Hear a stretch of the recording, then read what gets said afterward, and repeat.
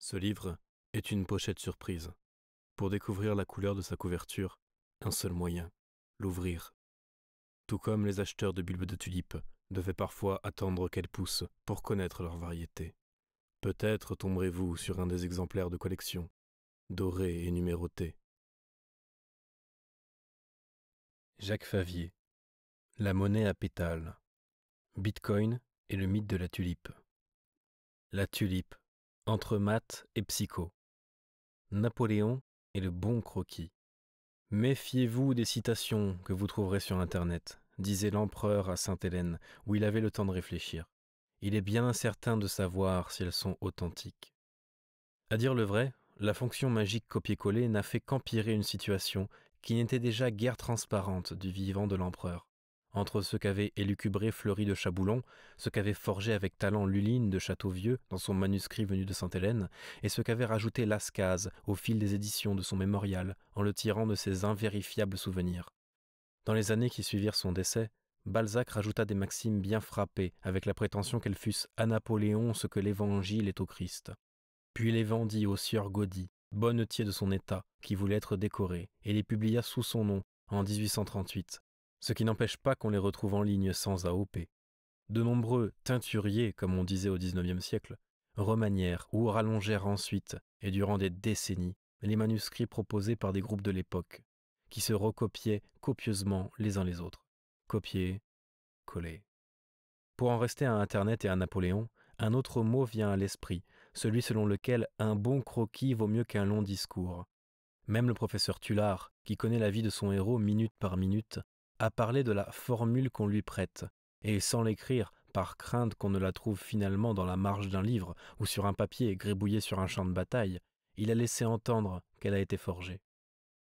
Napoléon était un grand écrivain, et de Brienne à Sainte-Hélène, il fut notoirement un très gros lecteur. Il ne dédaignait pas le croquis à l'occasion, mais il en a laissé bien moins que des écrits. Sa citation sur le bon croquis sert pourtant d'introduction claironnée à tout un tas de petits trafics conceptuels souvent paresseux. Bitcoin n'échappe pas à la chose.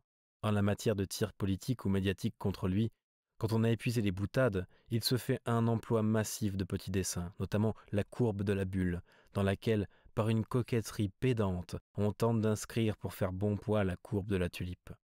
Elle est fort pratique, l'histoire du croquis, pour légitimer l'emploi massif de charts ornant des slides de PowerPoint, ce logiciel qui rend stupide, pour citer James Matisse, lequel était général lui aussi, et pour faire passer de simples infographies pour des arguments étayés. Sans chercher à savoir si l'année devait ou non être marquée par une correction, je suis donc revenu au début de 2021 sur ce qui se disait, s'écrivait et se dessinait en 2017-2018. À cette époque, comme après chaque correction du cours du Bitcoin, on voyait circuler comme un virus non seulement sur les réseaux sociaux, mais jusque dans la presse réputée sérieuse et dans les argumentaires institutionnels, une courbe des bulles, censée les résumer toutes, tulipes comprises bien sûr, et dans laquelle il suffisait d'inscrire celle du prix de marché de Bitcoin, pour pouvoir conclure, comme Philippe Weichter, chef économiste chez Natixis AM, l'écrivait crûment le 29 décembre 2017, dernier jour ouvré de l'année, le Bitcoin a l'allure d'une bulle, et c'est tout. Notez bien son expression, l'allure suffit. Et l'allure c'est quoi? C'est la courbe de Rodrigue. Bitcoin est la courbe des tulipes. Dans le cas de Bitcoin, on fait d'une bulle deux coups. Ça ne vaut rien, parce qu'à l'intérieur de cette bulle-là, il n'y a même pas de bon béton à classe moyenne ou de bonnes dettes bien hachées menues. Non, que du vent, on vous dit. Il n'y a rien à comprendre, l'affaire est expédiée. Puisque, comme on le disait finement le même 29 décembre à la télévision, c'est une folie complète ce truc. Cinq lettres et une courbe suffisent amplement à le décrire et à le faire éclater. La bulle. Après quoi, on peut réveillonner la conscience professionnelle en paix.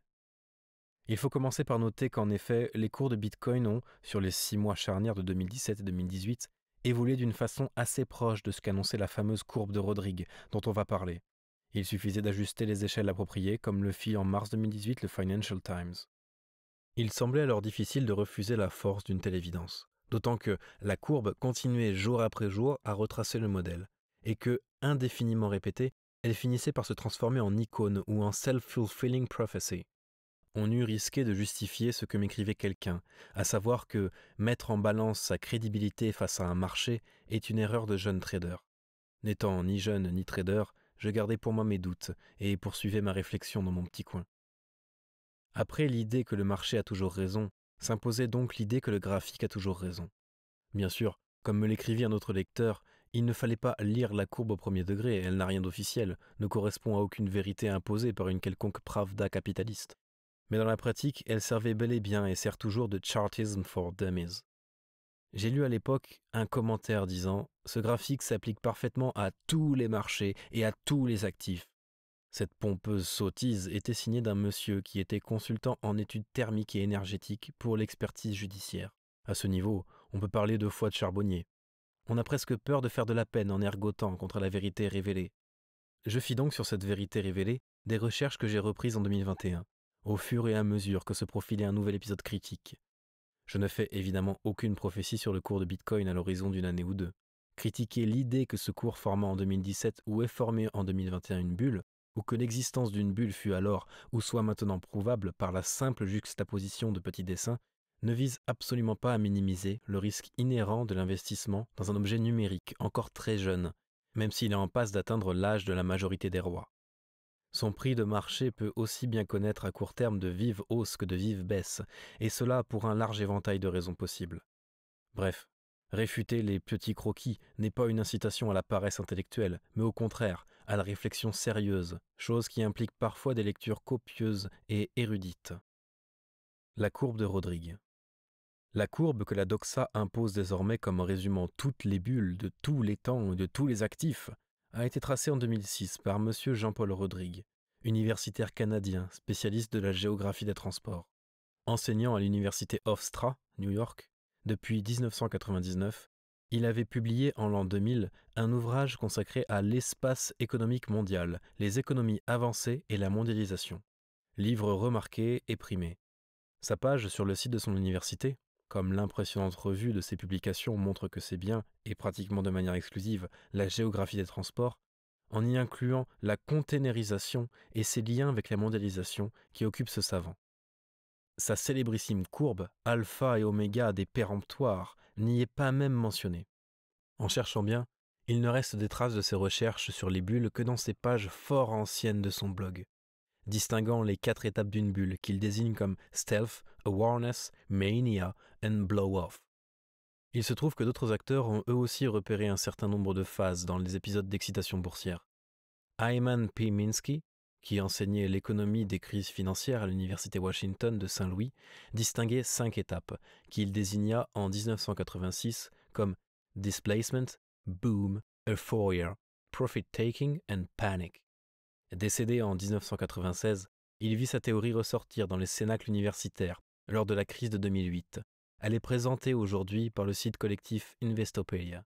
Il est évident que, de Minsky en 1986 ou de Rodrigue en 2006, il n'y a pas un des deux qui se serait grossièrement trompé sur le nombre de phases, et que le second n'a pas corrigé le précédent ou établi un progrès de la connaissance. Ils ont présenté l'un et l'autre des récits et non des théories. Ces récits sont plutôt psychologisants que mathématiques, et ne sont pas plus contradictoires que ne le sont, par exemple, les récits bibliques de la création, le yaviste et l'éloïste. Ils ne sont pas faux, ils ne sont pas scientifiquement étayés au point de résumer, clore ou remplacer une discussion. Pour en rester à des étapes psychologiques, les phases de Minsky 86 ou de Rodrigue 2006 peuvent être comparées aux cinq phases émotionnelles du deuil, énoncées dès 1969 par Elizabeth Kubler-Ross stade souvent cité, parfois contesté, et dont la grande psychiatre avouait elle-même qu'il pouvait bien survenir dans des ordres différents, et sans même être tous les cinq vécus par une seule personne. Qu'est-ce donc alors qui donne alors aux phases de Rodrigue leur statut de vérité révélée pour demi-savant? Son coup de génie, en avoir fait une courbe. Sous les pavés, le sable.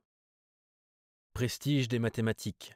De façon amusante, la seule allusion à sa courbe sur la page universitaire actuelle de Jean-Paul Rodrigue est la référence à un article de Forbes, le 2 mars 2014, où elle était utilisée, et dont le titre était Il n'y a pas besoin d'avoir un prix Nobel d'économie pour se tromper sur Bitcoin, mais cela aide. Parce qu'il n'y a en vérité aucune science dure, ni aucune mathématique dans ce dessin.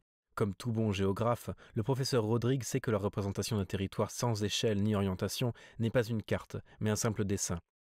Sa courbe, sans échelle propre, ni en abscisse, à quelle vitesse se déroulent les événements On n'en sait rien. ce qui permet d'ajuster l'échelle aux besoins de la démonstration, ni en ordonnée, qu'on suppose linéaire, et là aussi, il ne reste plus qu'à reporter l'échelle de la courbe du marché considéré, n'est qu'un dessin auquel les incertitudes totales sur le point d'appui et sur la pente de la droite de soutien n'ajoutent guère de pouvoir prédictif. Une fois admis que cette prétendue courbe est plutôt la mise en image d'une parabole psychologique, commençons par nous demander comment ou si elle s'applique à tous les actifs.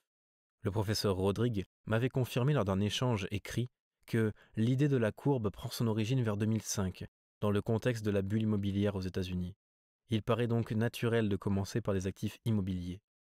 Une étude réalisée par un professeur de l'université de Maastricht sur un quartier ancien d'Amsterdam a en effet permis de distinguer quelques figures évoquant plus ou moins la courbe de Rodrigue. Mais il est clair quand on regarde le graphique comparant plusieurs marchés sur le temps long que, comme il le dit lui-même, c'est bien le marché américain du début de notre siècle qui a inspiré JP Rodrigue, et lui a, en quelques années seulement, assuré une certaine crédibilité. Peut-on extrapoler, par exemple, aux tulipes de 1637 Je dois me montrer ici moins complaisant. Quand le professeur Rodrigue lors de notre échange en 2018, m'a écrit que sa courbe, inspirée par l'immobilier américain en 2005, se base sur des principes de comportement des investisseurs bien connus qui ont été observés depuis la Tulip Mania de 1636-37 ou le South Sea Bubble de 1719 à 1721. Je ne pouvais me contenter de ce qui est bien connu et qui sent le plus souvent la sagesse des nations, voire celle des grands-mères plus que de la science des historiens. En ce qui concerne les tulipes, l'article le mieux documenté, Tulip Mania Fact or Artifact de Thomson, était contemporain de celui de Rodrigue. On ne saurait en vouloir à ce dernier d'en avoir sans doute ignoré l'existence à l'époque. Il n'en reste pas moins que le graphique de Thomson est tracé sur la base de prix relevés dans des documents historiques. Quand la courbe de Rodrigue est dessinée à main levée sur la base d'un roman écossais du XIXe siècle. On distingue bien dans le relevé de Thomson une baisse, évidemment, mais c'est tout.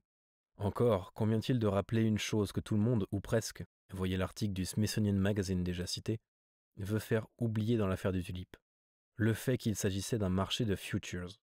Penser que la courbe de Rodrigue puisse s'appliquer aussi bien à l'immobilier américain, marché immense, ouvert à tous, très liquide et où les décisions d'achat et de vente, presque toujours intermédiées, ne sont pas instantanées, et à un marché de futures, marché restreint et réservé à des professionnels, et pour le moins peu prudent. Pourtant, comme je l'ai vérifié sur des dizaines et des dizaines de publications, posts ou commentaires sur les réseaux sociaux, la courbe de Rodrigue est devenue la courbe Tulip Mania, au sens de courbe des pigeons. Certains peuvent ne poster que Tulip Mania en réaction à telle ou telle publication. En un mot, en un dessin, ils pensent montrer l'ampleur de leur science historique, la profondeur de leur réflexion sur les marchés, la finesse et leur entendement de l'esprit humain c'est seulement faire preuve de suffisance et d'ignorance. L'idéologie sous-jacente, fidèle au projet de Charles Mackay, consiste à faire coller la phase mania et la sottise de la foule. Or, ceci tombe ici à plat, si l'on veut parler de Bitcoin. D'abord, parce qu'il n'est pas évident qu'en 2018, pour ne rien dire de 2021, ce soit les petits spéculateurs qui poussent son cours. Ensuite, parce que l'affaire des tulipes rappelle que, tout au contraire des récits acrimonieux des calvinistes locaux, puis de la morale réactionnaire de Mackay deux siècles plus tard, c'est en 1637 la seule sottise des professionnels qui en fut en cause, ou, pour le dire plus poliment, l'immaturité d'un marché de futures transformé un peu sauvagement en marché d'options. Si tant est que l'on veuille orner Bitcoin de tulipes, ce serait aujourd'hui la folie des grands qu'il faudrait incriminer. Or, c'est socialement moins facile. Un bon moyen de voir à quel point ce sont parfois les élites qui se font le doigt dans l'œil est l'examen de ce que les bitcoiners humoristes appellent la courbe des phases de Diamond. Les bulles en or. On ne peut parler de bulles simplement parce que les progressions quotidiennes se font avec des pourcentages à deux chiffres. Les marchés d'options, justement, font cela fort couramment, et ils ne sont ni interdits par la loi, ni condamnés par la morale des journalistes économiques, bien qu'une option soit quelque chose de bien virtuel. Une série de baisses n'est pas forcément l'éclatement d'une bulle, cela peut être un retour vers la moyenne. Une longue série de hausses ne forme pas forcément une bulle, c'est peut-être une découverte de prix assez proche, finalement, d'un mécanisme d'enchère, ce qui n'est, là non plus, ni interdit par la loi, ni condamné par l'éthique bourgeoise. Le prix de l'or grimpa sensiblement durant les années 1970, avec un début de surchauffe en 73-75, où l'once frôla les 200 dollars, avant de retomber aux alentours de 150 dollars. en 1979, le cours connut une nouvelle envolée qui atteignit son pic le 21 janvier 1980, avec un cours de 850 dollars, multiplié par 25 en moins de 10 ans, du jamais vu. Une situation assez facile à comparer avec la courbe du professeur Rodrigue. C'est une folie complète ce truc, auraient pu dire tous les économistes de service, puisqu'il n'y a derrière l'once d'or ni garantie d'un État souverain, ni expertise d'une banque centrale. Le cours entama d'ailleurs une lente érosion, retournant vers 2002 à un peu de moins de 300 dollars l'once. Là aussi, l'allure des choses pouvait annoncer le croquis de M. Rodrigue. Pourtant, le dégonflement de cette bulle d'or devait conduire à une hausse bien plus stupéfiante encore, presque verticale, pour atteindre en 2012 un pic à plus de 1800 dollars l'once, pour rien dire du cours actuel. L'historique de l'or, faut-il s'en étonner, offre donc des figures qui ne sont pas sans rapport avec l'explosion de la bulle de Bitcoin, que ce soit celle du commencement de 2014 ou celle de 2018. En 2014, on vit sur Bitcoin un blow-off de 86% qu'il n'est pas question de nier et qui suit assez bien la courbe Rodrigue. Sauf qu'on ne distingue même plus sur les charts de Bitcoin aujourd'hui, quand on ne prend pas la précaution méthodologique de les tracer en semi-logarithmique. Dans le cas de l'or, comme dans celui de Bitcoin, une excitation temporaire du marché ne signifie donc pas une bulle, et encore moins une bulle de vide. Bitcoin pluribus impar. Le professeur Rodrigue, dans le petit mot qu'il m'avait adressé, notait que son modèle semble applicable à tout marché où le produit est liquide, où le devient suite à la bulle, exemple immobilier, et où il est possible d'emprunter de vastes sommes pour son leverage. Cela me semblait alors une première raison de ne pas l'impliquer à Bitcoin, encore assez peu leverage en 2017. Il reste une seconde raison spécifique de rejeter la courbe de Rodrigue comme instrument de réflexion au sujet de Bitcoin. C'est qu'elle suggère explicitement que la trajectoire raisonnée ou raisonnable, la croissance moyenne, devrait être linéaire. Or, la valorisation d'un réseau intègre une dimension naturellement exponentielle, qui conduit à préférer l'emploi d'une échelle logarithmique pour l'axe des ordonnées, et celui d'une régression logarithmique pour juger pragmatiquement de ce qui est raisonnable et de ce qui ne l'est pas. C'est le sens de la courbe inspirée à l'origine par Tuur Demester. L'affaire figurée en illustration ici aurait l'air de cautionner ces projections chiffrées. Les plus curieux de mes lecteurs n'ont qu'à chercher cela tout seul. Si un bon croquis doit parfois remplacer un long discours, autant ne se tromper ni de croquis ni d'échelle, et se faire une culture en lisant. J'ai eu un jour une révélation en entrant pour la première fois dans la bibliothèque du palais de Compiègne. Le sentiment d'être déjà venu. En réalité, elle me rappelait celle de Fontainebleau. Chaque palais impérial conserve ainsi la preuve que l'instrument de travail de Napoléon, c'était bien les livres, les comptes, les cartes, les relevés. Son père possédait 1100 volumes. D'après les comptes de son bibliothécaire, l'empereur en possédait 68 700 en 1814. Même sur l'île d'Elbe, où ils sont toujours, et même à Sainte-Hélène, l'homme des bons croquis était entouré de milliers de livres qu'il dévorait toujours, crayon en main.